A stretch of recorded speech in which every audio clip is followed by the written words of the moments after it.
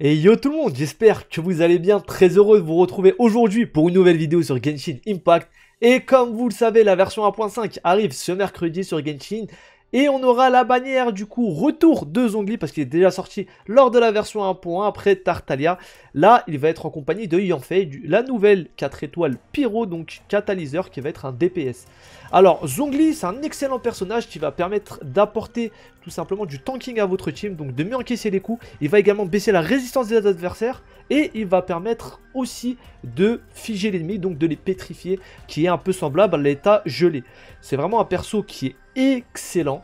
Et vous allez voir durant cette vidéo, je vais vous donner un maximum d'informations pour que vous puissiez faire votre choix. Alors d'habitude sur les bannières, je suis pas du genre à dire vous devez absolument invoquer ou non. J'essaye un maximum de prendre les bons et les mauvais côtés, mais je vous avoue que Zongli a que des bons côtés limite.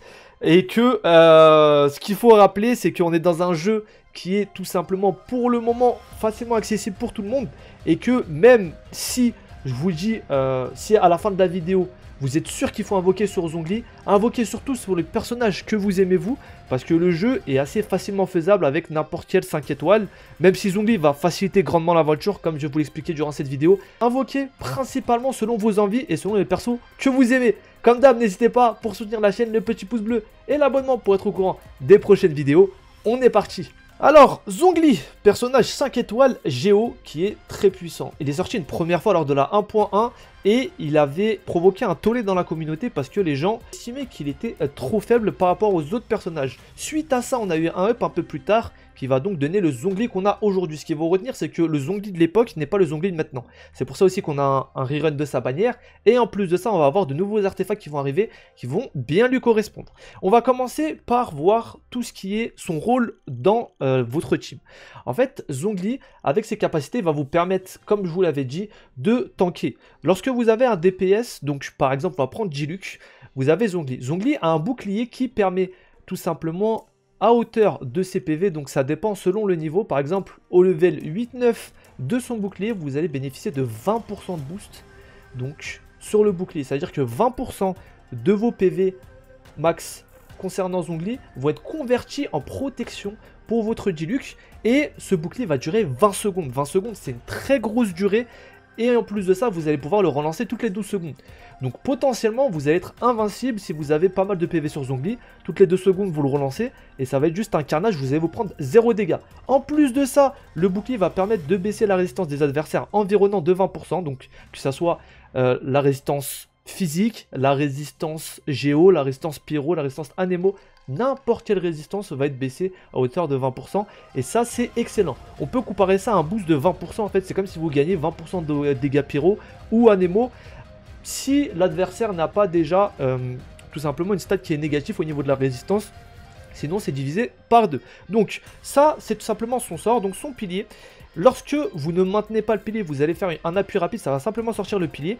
Et lorsque vous allez appuyer donc en maintenant, le pilier va sortir et vous allez avoir en même temps un bouclier. Il faut savoir que les deux sorts n'ont pas le même temps de recharge. Il faut savoir que ce pilier qui sort va avoir 3 secondes de temps de recharge alors que le bouclier va en avoir 12. Donc il faut faire attention à comment vous le placez. Ce euh, tout simplement pilier va permettre de toucher les ennemis environnants avec des dégâts géo. Vous allez avoir un boost dessus de 1,9% en fonction de vos PV max. Ça veut dire que 1,9% de vos PV max au niveau des dégâts vont être ajoutés. Et en plus de ça, ça va permettre de proc différentes choses, notamment la prochaine panoplie d'artefacts qui va sortir sur le jeu. Je vous ai déjà fait une vidéo dessus, d'ailleurs n'hésitez pas à aller la voir, je la mettrai sur le bouton I juste ici.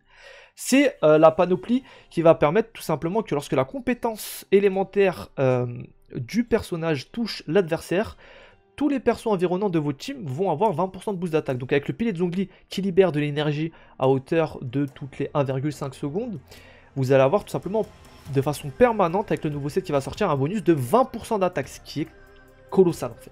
Ce qui est colossal, et en plus de ça, un boost de 30% euh, du bouclier avec euh, ce set. Donc ça va être le nouveau set qui va sortir. De toute façon, je vous ai tout détaillé sur la vidéo qui arrive juste ici. N'hésitez pas à aller voir. Là, je vais vous détailler Zongli. Mais c'était important quand même euh, d'évoquer ce nouveau stuff qui arrive. Du coup, voilà. Appui simple, pilier qui sort, qui libère de l'énergie géo. Appui tout simplement maintenu bouclier plus pilier. Et si vous avez déjà un pilier sur le terrain, et eh ben ça va pas en ressortir un de terre parce qu'il faut savoir que c'est un pilier max pour le personnage, sauf si vous, l'avez, si vous avez la première constellation qui va vous permettre de mettre deux piliers sur le terrain. Les attaques de base, ça va être un enchaînement classique, ça va être des coups de lance, donc qui sont ma foi très très beaux, hein. franchement c'est très cool de jouer Zongli. Boost de 1,6% par rapport à vos PV max, donc euh, le perso est clairement à orientation défensive, c'est-à-dire que déjà ses coups de base comme vous le voyez vont dépendre de ses PV max, comme je vous l'ai dit tout à l'heure, son bouclier dépend de ses PV max également. Et son pilier aussi, l'énergie qu'il libère, va dépendre de ses PV max. On va passer à l'ultimate qui va dépendre aussi de ses PV max. Donc à hauteur de 33% sur cet ultimate, vous allez avoir un boost. Donc ça va prendre 33% de vos PV et ça va les convertir en dégâts sur l'ultimate. En plus de ça, il fera à peu près 800% de dégâts géo lorsqu'il est level 8, ce qui est colossal. Et il va pétrifier les adversaires pendant 2 à 4 secondes selon euh, votre niveau euh, de compétence. Donc voilà pour ces trois skills, vraiment excellent. L'ultimate qui fait pas mal de dégâts, qui pétrifie. Le, euh, le, sort de base qui permet tout simplement de sortir le pilier et de se protéger. Et surtout la réduction de 20% euh, au niveau du bouclier qui va vraiment booster tous vos personnages. Faut prendre aussi en compte la double résonance géo. Donc lorsque vous avez deux personnages géo dans votre team, vous allez bénéficier de 20% de boost sur le bouclier, c'est-à-dire que votre bouclier va être 20% plus puissant. En plus de ça, vous allez bénéficier de 15% de dégâts supplémentaires parce que vous êtes sous bouclier. 15% de dégâts, ce n'est pas 15% d'attaque, c'est 15% de dégâts, ce qui est vraiment excellent. C'est la stat la plus puissante du jeu, quoi, les dégâts subis. Et on va avoir également une résistance à l'interruption. Donc lorsque vous vous faites cogner par l'adversaire, vous n'allez pas forcément euh, voler lorsque vous prenez un coup. Et vous allez pouvoir taper en même temps. Donc Zongli, personnage excellent que je vous conseille surtout de Steph PV. PV, PV taux de critique, dégâts critiques, parce que son ultimate peut faire très très mal, ainsi que son pilier par contre, son pilier, c'est plutôt sur la durée. Vous pouvez avoir un pilier max sur le terrain, voire deux si vous avez une constellation dessus. Et lorsque vous avez la deuxième constellation, la météorite, donc son ultimate, va permettre tout simplement de gagner directement le bouclier qui est euh, procable avec, du coup, ce sort-là. Donc, faut savoir que si vous avez des constellations dessus, ça va être encore plus n'importe quoi. Vous allez pouvoir vraiment perma-spam le bouclier. Donc, voilà pour le personnage. Au niveau d'intégration, il s'intègre dans toutes les teams vraiment, vous pouvez l'intégrer partout. C'est ça qui est très fort sur Zongli, c'est que vous pouvez l'intégrer dans n'importe quel team. Il est universel.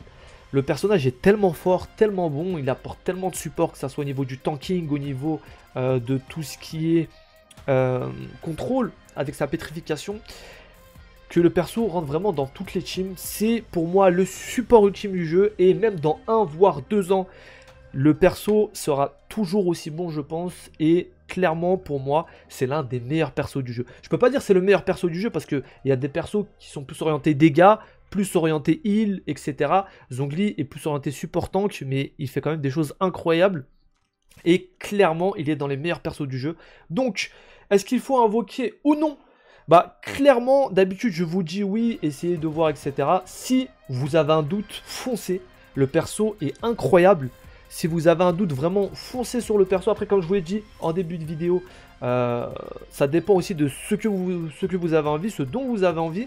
Peut-être qu'il y a des persos qui vous aimez pas le cara design de Zongli, vous allez mettre celui de Eula, donc n'hésitez pas à invoquer sur Eula. Mais il faut savoir que Zongli c'est plutôt un, euh, support tank, mais vous pouvez le tourner en tant que DPS en fonction de euh, tout simplement son stuff. Donc il est très malléable et très polyvalent également. Et vous allez pouvoir le jouer comme un DPS si vous le jouez par exemple en complète gladiateur, des choses comme ça qui sont vraiment très fortes. Donc le perso est vraiment excellent, je vous conseille vivement d'invoquer dessus. Et on va avoir également la petite Yanfei qui arrive. Alors pour passer rapidement sur Yanfei, c'est un personnage pyro qui va avoir tout simplement un catalyseur, donc un mage, et qui va être un DPS. Donc il va faire pas mal de dégâts. Donc euh, très bon personnage, si vous avez Cli, elle va pas forcément vous servir, mais elle a l'air vraiment euh, pas mal cool et elle a plein de trucs sympas à vous montrer. Donc voilà pour cette petite vidéo, j'espère qu'elle vous a plu. Si c'est le cas, n'hésitez pas, le petit pouce bleu et l'abonnement. Vous pouvez me retrouver en, live sur Twitch tous les soirs à 18h30, donc n'hésitez pas à passer, c'est dans la description. Moi, HSMT, ça fait plaisir. On fait beaucoup de Genshin, donc mardi, jeudi, vendredi, puis les autres jours, on fait des soirées émissions, un peu de Pokémon, des trucs sympas. Donc vous êtes les bienvenus. Sur ce, je vous souhaite beaucoup de luck pour vos invocations. Je vous dis à la prochaine. Portez-vous bien. Ciao, ciao